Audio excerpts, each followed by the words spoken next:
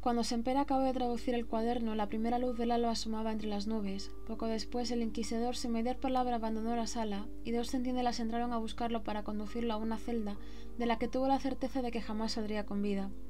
Mientras Semper daba con sus huesos en la mazmorra, los hombres del gran inquisidor acudían a los restos del naufragio donde, oculto en un cofre de metal, habían de encontrar el frasco escarlata.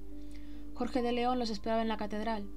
No habían conseguido encontrar la medalla con la supuesta lágrima de Cristo a la que aludía el texto de Edmond, pero el inquisidor no tuvo reparo, pues sentía que su alma no precisaba de purificación alguna. Con los ojos envenenados de codicia, el inquisidor tomó el frasco escarlata, lo alzó al altar para bendecirlo y dando gracias a Dios y al infierno por aquel don, ingirió el contenido de un trago. Transcurrieron unos segundos sin que sucediese nada.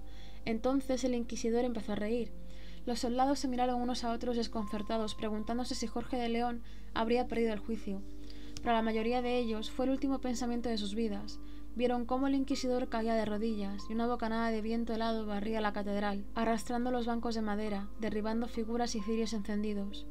Luego escucharon cómo su piel y sus miembros se quebraban, cómo entre los aullidos de agonía la voz de Jorge de León se hundía en el rugido de la bestia que emergía de sus carnes, creciendo rápidamente en un amasijo ensangrentado de escamas, garras y alas.